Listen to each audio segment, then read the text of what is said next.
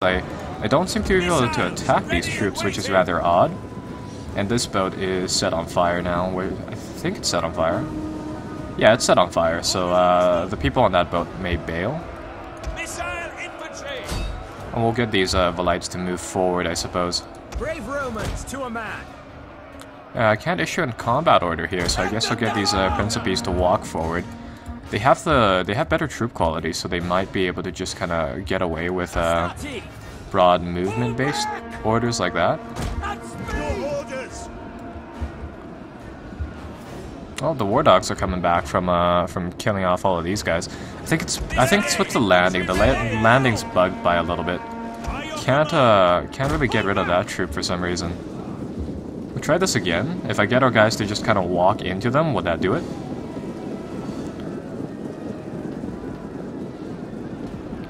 Yeah, we're kind of fighting them now. That's really strange, though. So these slingers on the boats are uh, going to burn up, kind of like that. It appears that this boat, the one that's uh, currently on fire, is trying to land, but I mean, it's not having very much luck. Missiles, ready and waiting. And I suppose this will do it for the boats. That'll set them all on uh, on fire. We await your Now the gatehouse is the gatehouse burned down already? No, gatehouse needs to be burned down though. And once that is done, um, we can send in the troops over there. Melee infantry at your command. Velites. Yeah, this battle's kind of strange. I mean, uh... Okay, well, all the boats are set on fire now, so... Brave Romans to Yeah, that's kind of that. I'll get the Velites to uh, pull back over here. Melee troops awaiting And as soon as the gate fully burns down, I think I'll just send in the uh, the Hastati and whatever we have left, really. And uh, really just barge in there, take all of the control points, and I think that'll be the, uh, the end of them, really. Yeah, all of their landing forces appear to just be standing around. That is really weird. Uh, fast forward here. The gate will burn down any second now. Yeah, now we can get people into the gate, so we'll get them to uh, enter the fortress. And these guys still aren't doing anything really strange behavior with the boats.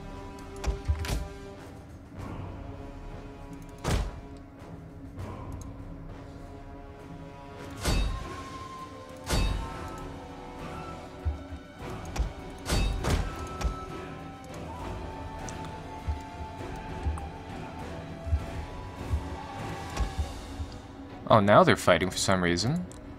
Dogs are still out there doing their own thing from the looks of it.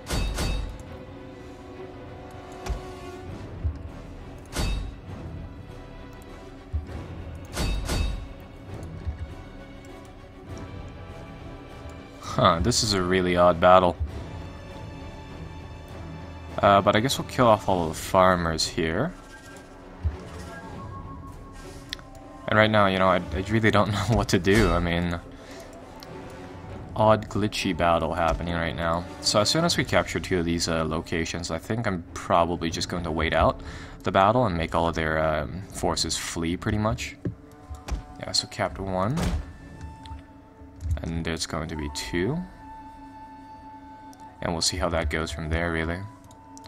I think I'll leave one squad just to uh, just to protect that point. And now this boat, yeah, this uh, this shore landing location is pretty much all cleared off, except for this one boat of slingers. They're on fire though. Are they going to try to shoot us down? Yeah. We'll pull our troops back, and uh, we have the dogs still. So if they do land, we'll um, we'll sick the dogs on them. But for now, seeing as how the this little force is bugged and our legion hasn't uh, hasn't been standing up all too well, I think I'll just uh, cap these points like that.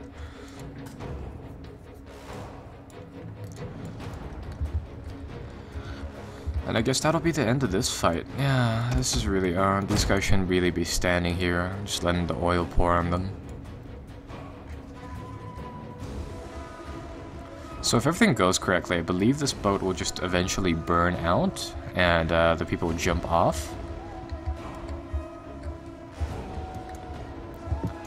Ah, this troop ran away. Okay, fair enough. That's probably going to cost us uh, one Hastati group.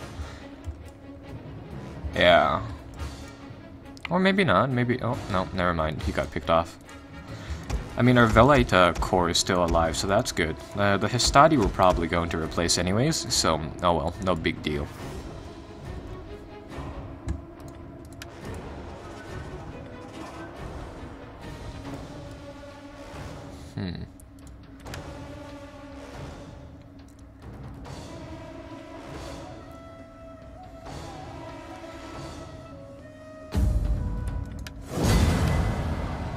Yeah, really strange battle there. The enemy force didn't really do much. Um, so we, we kind of cut them down by half, by uh, by three quarters actually, from the looks of it. Um, but then again, we lost more than half of our troops, so wasn't too great. Unfortunately.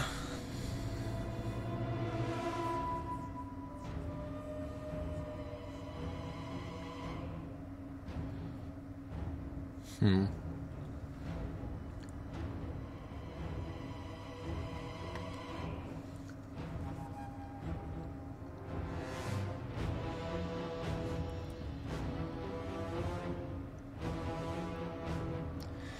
Okay, so that is the um, come on end of this battle.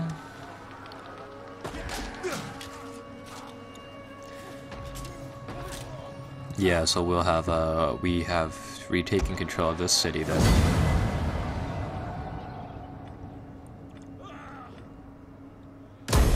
You have further orders? So just like that. Ready for battle. That'll put the cat. That'll put it under our control, which is nice. And we can't train any troops here, which is rather unfortunate. And uh, well, we can pick a we can pick a new tradition for them. So let's do uh, let's make them defenders of Rome. No, make them uh, indomitable uh, legionnaires like that. And then we will uh, come over here and fight this battle now. So let's march our troops over here. None will escape. And let's see.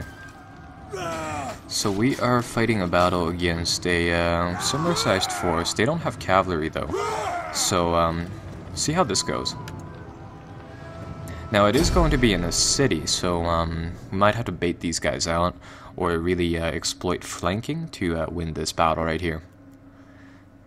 Hmm, from from the looks of the map, I mean, if we can uh, if we can really utilize our cavalry, and really drive them through uh, different alleys of the city, we still have a we still have a fairly good chance at winning.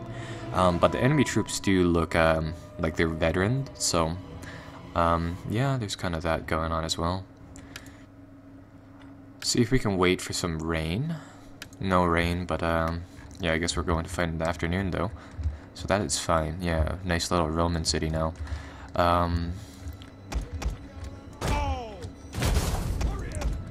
How my cavalry come from uh, different angles than our regular troops. And for the Celtic, uh, auxiliary Celtic warriors, we're just going to kind of form a solid mass with these guys and uh, really press forward from there. So we'll get these guys to start marching forward like that.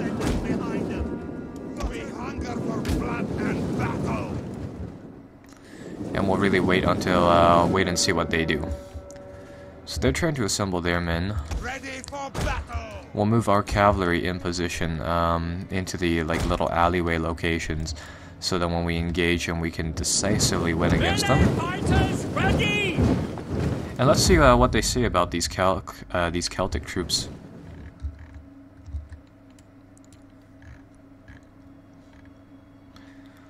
Mm, decent attack, pretty much. These are just decent people. They don't la they lack formal organization, um, but they're extremely able metal workers, and they have long experience as uh, mercenaries. I wonder if you can enter down here. Like, can I? No, this is a this is a prop. I can't enter that little building. Okay, fair enough. Let's see, they have a lot of spear bands and skirmishers over there. Some of these sword bands are what uh, I'm wondering about. Heroic Raiders as a as their captain leader. That might be uh, that might be some trouble. And let's see, the cavalry should be positioned right at the flanks. Could have supplemented those cavalry with some infantry if we uh, if we had wanted to, but I have a feeling it'd be better to keep our uh, infantry a solid mass, so then we can have the general right behind them, um, keeping them in line, really.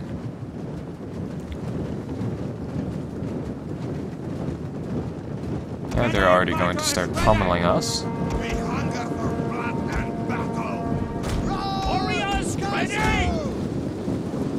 So I think I'll get our guys to uh, start going for a charge right here. Try to get them on the side there. And I'll try to draw a fight over there too.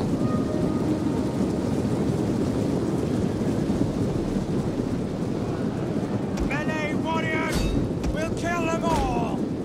We hunger for blood and battle! Yeah, so if one clash is going on over there, they're going to send their troops, they're going to send their cavalry over here, so we're going to do uh we're going to put up a shield wall.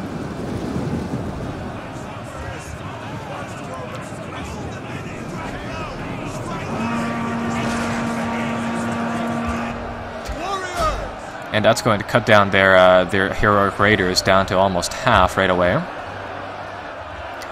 So now we get the cavalry in.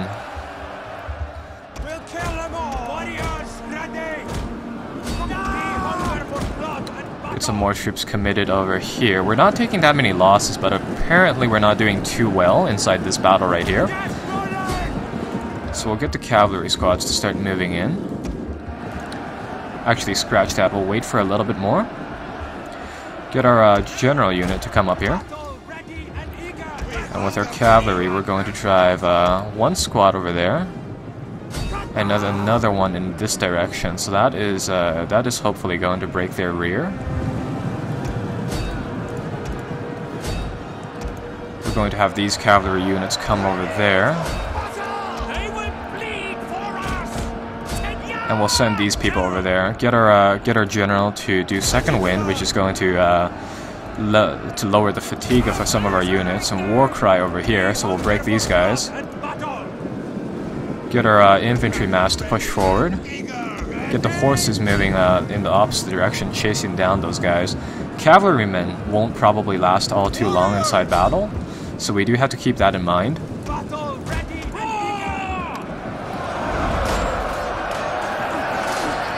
Yeah, the cavalry are holding, but they're definitely not going to uh, be able to last too long in the fight uh, fighting over there.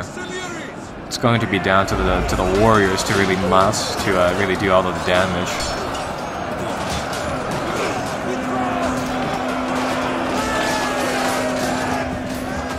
And there we go, a nice flanking maneuver. Good uh, good timings is uh, what won this battle.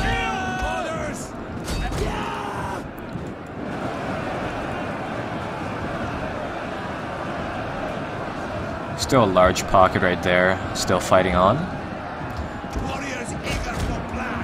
Now these guys should probably turn off their shield wall and just really start marching forward. Um, I have one squad of cavalry, I believe, chasing down some of the remnants. Yeah, these guys are chasing down the remnants. And after this battle, I hope that uh, all of the uh, the Britons people over here, the Blue Faction, um, will be essentially expelled from uh, from the European continent. Ready for battle. We'll kill them all! Yeah, so this one's a much smoother victory than uh, our previous one.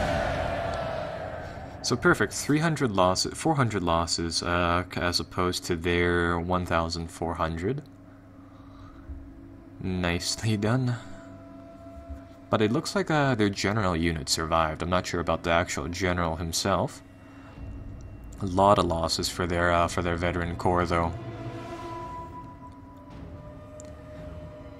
Now, what I hope this will mean is that uh, the the remnants will be essentially captured, and then we can just effectively, yeah, there we go. Remnants are gone as well,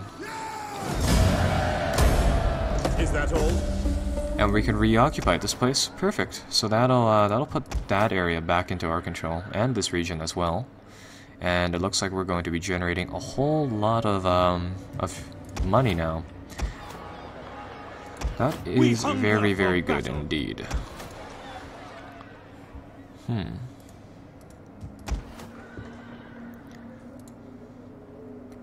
Some really nice uh, area being secured over here, and I think um, I think we'll be done for uh, for today.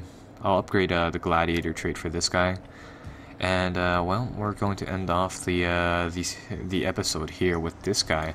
This uh, this this veteran has plus six zeal, and the main thing that I'm using him for is that he actually brings in a whole lot of uh, bonuses to the public order, which is uh, helping out by um, reducing the penalty over here.